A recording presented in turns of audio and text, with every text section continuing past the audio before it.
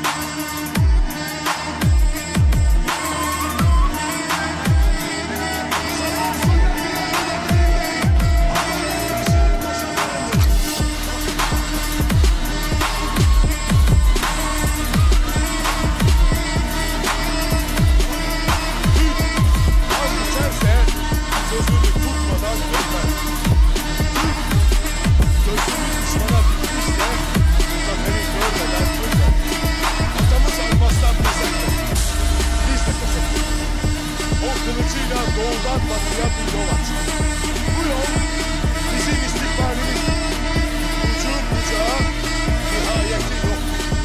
Nefesimiz biz de o yoldan yürüyeceğiz. İlahi nizamı koruyup adaleti cihanın dört bir yerine yayacağız.